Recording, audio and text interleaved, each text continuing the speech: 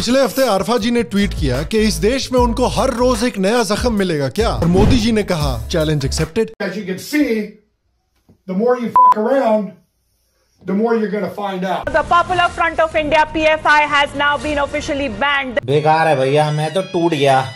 टूट गया मैं तो अब। खत्म हो गया यार मैं तो। तो पीएफआई को यूएपीए लगाकर बैन कर दिया गया है। होपफुली उमर खालिद से उनको कुछ अच्छी एडवाइस मिल सके। First time. और जैसे ही पीएफआई के बैन होने के बाद मार्केट में गैप आई, तुरंत एक नई ऑर्गेनाइजेशन आ गई है पीएफआई की जगह लेने के लिए तो आइए आज हम पीएफआई के बैन होने के बाद सबसे बेहतरीन मेल्टडाउन्स को देखते हैं और ये डिस्कस करते हैं कि पीएफआई जैसे ऑर्गेनाइजेशंस को आगे उभरने से कैसे रोका जा सकता है और शाम शर्मा शो के इस एपिसोड में आपका बहुत बहुत स्वागत है। मैं हूँ सेकुलरिज्म का सीईओ शाम शर्मा, आज मुझसे जुड़ने के लिए, आज का ये एपिसोड देखने के लिए आपका बहुत बहुत धन्यवाद और आप सबको एक सेक्युलर प्रणाम यार, लोग मोदी को 24 घंटे फेंकू फेंकू फेंकू बोलते रहते हैं। मोदी ने बोला, ठीक है, चलो, मैं उठाकर पीएफआई को ही फेंक देता हूँ जेल में।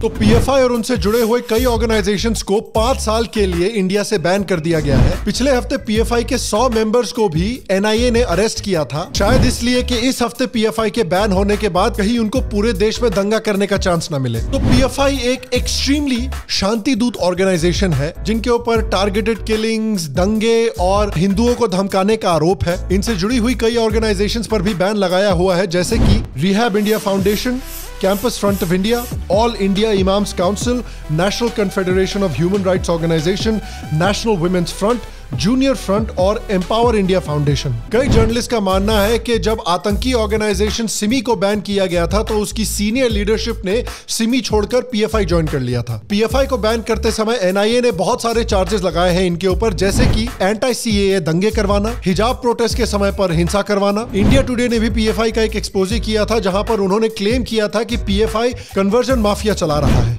Her confession only confirms what the NIA said in its dossier on the Popular Front of India.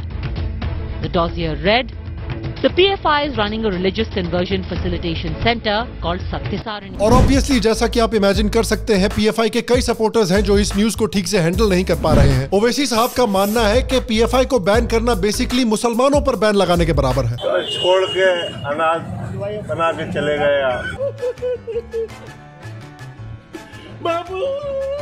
कमाल है यार। खुद सारे मुसलमानों को आतंकी बोल रहे हो बेसिकली उसके बाद हिंदुओं को गाली देते हो। रवीश कुमार जो कि अडानी के एनडीटीवी खरीदने के सदमे से अभी तक उभर नहीं पाए हैं उनके ऊपर पीएफआई के बैन करने का भी सदमा लग गया। देखिए आकाश बैनर्जी क्या कह रहे हैं। सारी ऑर्गेनाइजेशन पर बैन लगाओ जो नफरत फैलाती है हमारे देश पे। सबसे पहले शुरू करो आरएसएस से। और आरएसएस वैसे में भी पहले बैन हो चुकी है। कई दूसरे लोग भी इस तरह का आरोप लगा रहे हैं की अगर पीएफआई को बैन किया गया है तो आरएसएस को क्यों नहीं बैन किया गया है? भैया पीएफआई के ऊपर आरएसएस के वर्कर्स को मारने का आरोप लगाया गया है। तो अगर आप किसी खूनी को फांसी दे रहे हो तो सेकुलरिज्म के नाम पे मरे हुए के फैमिली को भी फांसी दे दोगे क्या? राणा अयूब के भाई साहब पूछ रहे हैं कि अगर आप पीएफआई को बैन कर देंगे तो मुसलमानों के पास ऑप्शन क्या बचेगा? देखिए, ये बड़ा अहम सवाल पूछा है इन्होंने। तो शाम शर्मा शो ने इसरो और नासा दोनों के साइंटिस्ट को कॉन्टेक्ट किया और इस सवाल का जवाब जानने की कोशिश की। और बहुत सारे कैलकुलेशन परमुटेशन एंड कॉम्बिनेशन के बाद साइंटिस्ट ने हमें इस सवाल का जवाब दिया है और उन्होंने मुस्लिम के लिए एक चॉइस दिखाई है और वो चॉइस है आतंकवाद मत करो। बेचारा रॉयटर्स भी बहुत दुखी है कि पीएफआई को आतंकी ग्रुप नहीं बल्कि सिर्फ़ एक प्रोटेस्ट करने वाला इस्लामिक ऑर्गेनाइजेशन बता रहा है। बहुत तकलीफ़ होती है। बहुत तकलीफ़ होती है। और सिर्फ़ कुछ हिंदुस्तानी ही नहीं पाकिस्तानियों की भी फटी पड़ी है। वो बेचारे ट्विटर पे जाके हर एक ट्विटर यूज़र को टैग कर रहे हैं कि भैया कोई तो पीएफआई को बैन होने से बचा ले।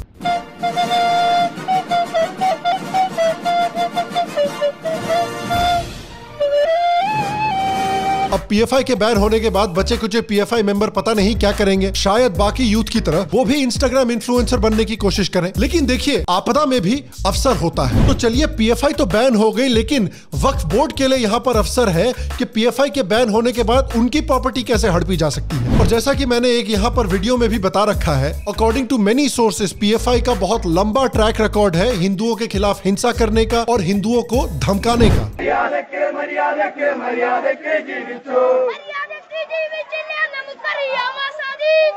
आज आपके मदारिस को बंद किया जा रहा है। कल आपसे कुरान छीना जाएगा।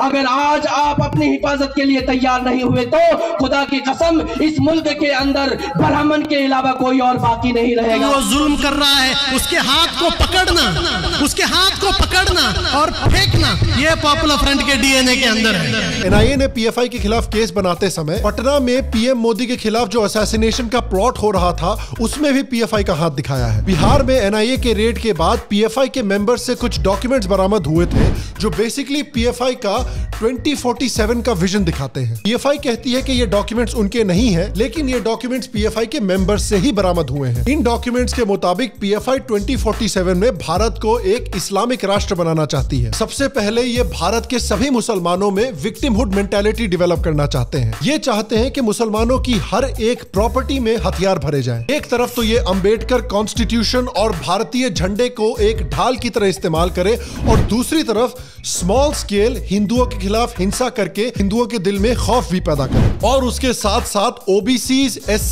सी को टारगेट करके हिंदू सोसाइटी से अलग करने की कोशिश करें। और फिर इवेंचुअली भारतीय गवर्नमेंट को अपने मेंबर से भर दे। और भारतीय गवर्नमेंट की तारीफ़ करनी पड़ेगी कि उन्होंने इस स्ट्रेटेजी को बड़े अच्छे से हैंडल किया। सबसे पहले हिंदुत्व फिलोसफी राम मंदिर मूवमेंट और फाइनेंशियल और सोशल इंक्लूजन स्कीम्स का इस्तेमाल करके बीजेपी ने ओबीसीज और एस सी को हिंदू मेन स्ट्रीम से जोड़ा। इसी बहाने कुछ पसमंदा मुस्लिम भी खींच लिए। आरएसएस भी अपनी तरफ़ से काफ़ी सारी रीच आउट कर चुकी है मुस्लिम कम्युनिटी को, जो की आप आर्ग्यू कर सकते हैं कि बहुत खास सक्सेसफुल अभी तक नहीं हुई है। उसके साथ साथ बीजेपी गवर्नमेंट ने बड़ी बड़ी मुस्लिम कंट्रीज़ के साथ अच्छी रिलेशनशिप डेवलप की है जैसे कि सऊदी अरेबिया और यूएई, और उसका रिज़ल्ट ये हुआ है कि पीएफआई के ओबीसी और एस सी को खींचने के बजाय पसमंदा मुस्लिम है जो पीएफआई के बैन होने को सपोर्ट कर रहे हैं। चेकमेट हो गया भाई। अन्याय हुआ है। मेरे साथ अन्याय हुआ है। अब इस चेकमेट के बारे में ओवेसी जी से और पीएफआई के सपोर्टर्स से आइए जरा लाइव कमेंट्स ले लेते हैं। सब डिप्रेशन में चले गए सब कुछ बर्बाद हो गया है खत्म हो गया है। किसी की औरत झूठ मार रही है किसी का आदमी औरत को झूठ मार रहा है किसी के बच्चे जो है घर से बेघर हो गए सब कुछ बर्बाद हो गया। अब देखिए लौड़े का फैक्ट चेकर कुछ ना कुछ तरकीब निकाल के पीएफआई को डिफेंड करने की ज़रूर कोशिश करेगा। जब वो डिफेंड करेंगे तो हम उनकी तरकीब निकालने का इंतज़ार करते हैं। लेकिन तब तक देखिए पीएफआई मुस्लिम राष्ट्र बनाए ना बनाए। आपको उस इंसान के बारे में पता होना चाहिए जिसने मुगल राष्ट्र को भारत में नेस्तनाबूद किया और भारत में हिंदू राष्ट्र की पुनर्स्थापना की, जिनका नाम है छत्रपति शिवाजी महाराज। और कुकू एफएम, जो कि इंडिया का लीडिंग ऑडियो बुक प्लेटफॉर्म है, वो आपके लिए लाया है शिवाजी की एक biography challenging destiny a biography of Chhatrapati Shivaji. Video के एंड में मैं आपको बताऊँगा की आप इस बुक समरी को कैसे पा सकते हैं, और इस बुक समरी को पाने के लिए कुकू एफ़ आपके लिए एक बहुत बढ़िया ऑफ़र लेकर आया है। लेकिन पहले इस बारे में बात करते हैं कि देखिए, सिमी और पीएफआई जैसे ऑर्गेनाइजेशन को बैन करने के लिए हमें गवर्नमेंट की सराहना करनी चाहिए।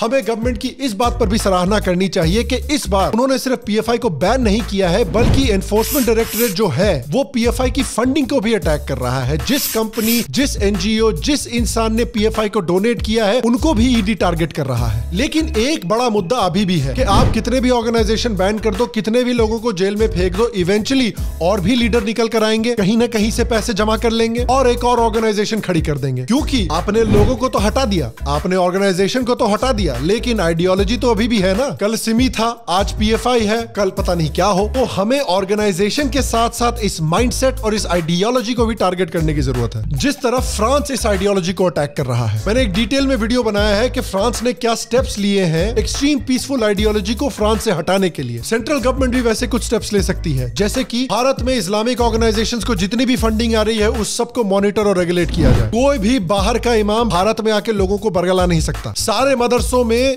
रिलीजियस एजुकेशन के साथ साथ मैथ और साइंस जैसी सेकुलर एजुकेशन पढ़ानी भी ज़रूरी है। सारे मस्जिद और मदरसे वाले इमाम भारत में ट्रेन किए जाएँगे और भारत में सर्टिफाई किए जाएँगे। और वो एक ऐसा सिलेबस पढ़ाएँगे जिसको इंडियन गवर्नमेंट ने अप्रूव किया है। सारे भारतीय मौलवियों को ये कहना पड़ेगा की वो अपने मदरसों में, अपनी मस्जिदों में भारतीय वैल्यूज़ को प्रमोट करेंगे। जैसे की म्यूचुअल रिस्पेक्ट जैसे की एक दूसरे के कल्चर में शरीक होना और एक्सट्रीम पीसफुलनेस को रिजेक्ट करना। जो भी अपने मस्जिदों में या मदरसों में हेटफुल आइडियोलॉजी पढ़ाए उनका मस्जिद मदरसा बंद। और टू बी फेयर कुछ ऐसे स्टेट्स हैं भारत में जैसे योगी आदित्यनाथ का उत्तर प्रदेश जो इस तरह के स्टेप्स ले रहा है जो कि मदरसों को भी नॉर्मल स्कूल्स की तरह तब्दील करने की कोशिश कर रहे हैं। और हेमंत बिश्व शर्मा जैसे चैट भी हैं। मदरसों से क्या दिक्कत है? तो बंद करने का इरादा है। जो मानते हैं कि असम के मुस्लिम स्टूडेंट्स को मदरसा एजुकेशन के बजाय प्रॉपर एजुकेशन मिले 700 मदरसा बंद हो चुका है। और बाकी मद्रासा को कोई nursing school pharmacy school medical school ये सब मन, बनाने का मन में इरादा है। तो इसीलिए मद्रासा सब विलुप्त हो जाना चाहिए। नॉर्मल एजुकेशन होना चाहिए। और घर में आप खूब आपका धर्म पुठी पढ़ाइए। तो अगर हमें ये देखना है कि आगे जाकर कोई पीएफआई ना डेवलप हो इंडिया में तो सिर्फ़ रावण का सर काटने से काम नहीं चलेगा, रावण की सीधे नाभि में तीर मारना पड़ेगा। और हम मुसलमानों को अटैक नहीं कर रहे, मुसलमान हमारे भाई बहन है। उनका भारत पर उतना ही अधिकार बनता है जितना हिंदुओं का बनता है। लेकिन एक्सट्रीम पीसफुलनेस वाली जो आइडियोलॉजी है, उसको जड़ से उखाड़ कर फेंकना पड़ेगा भारत से। और मैं आपसे पूछना चाहता हूँ की इस वीडियो का आपका फेवरेट मेल्टडाउन कौन था पीएफआई के बैन होने के बाद? और आगे जाकर पीएफआई जैसे ऑर्गेनाइजेशन ना डेवलप हो, उसके लिए भारत को, भारतीय गवर्नमेंट को क्या स्टेप्स लेने चाहिए, नीचे कमेंट सेक्शन में मुझे ज़रूर बताएँ। अगर आपको ये मेल्टडाउन वीडियो पसंद आया, और आपको अगर हमारी नई पार्लियामेंट बिल्डिंग का लायन सिंबल याद है, और अगर आप उससे रिलेटेड मेल्टडाउन देखना चाहते हैं तो यहाँ पर क्लिक करके आप वो देख सकते हैं। अगर आप कुकू एफ़ की छत्रपति महाराज की सुनना चाहते हैं तो शाम शर्मा शो के फ़र्स्ट 250 सबसे सेक्युलर व्यूअर्स को अगर नीचे दिए गए कुकू एफएम के लिंक पर क्लिक करते हैं, कुकू एफएम के ऐप पर जाकर साइन अप करते हैं code S S S fifty again S S S fifty का इस्तेमाल करते हैं तो आपको आपकी मेंबरशिप पर 50 परसेंट ऑफ़ मिलेंगे, यानी आपको आपकी मेंबरशिप 399 पर ईयर के बजाय सिर्फ़ 199 पर ईयर में मिलेगी। तो भारत के असली फादर ऑफ़ द नेशन के बारे में और जाने और इस ऑडियो बुक को ज़रूर चेकआउट करें। बाकी अगर आप शाम शर्मा शो का मक क्लब ज्वाइन करना चाहते हैं तो नीचे पेट्रियन के लिंक पर क्लिक करके ज्वाइन करें। अगर आप शाम शर्मा शो का नया मर्च देखना चाहते हैं तो नीचे मर्च स्टोर के लिंक पर क्लिक करके उसको भी चेकआउट करें। बाकी मैं आपसे अगले एपिसोड में मिलूँगा और तब तक स्वस्थ रहे, सुखी रहे, फिर मिलेंगे और आप सबको एक सेक्युलर बनाओ।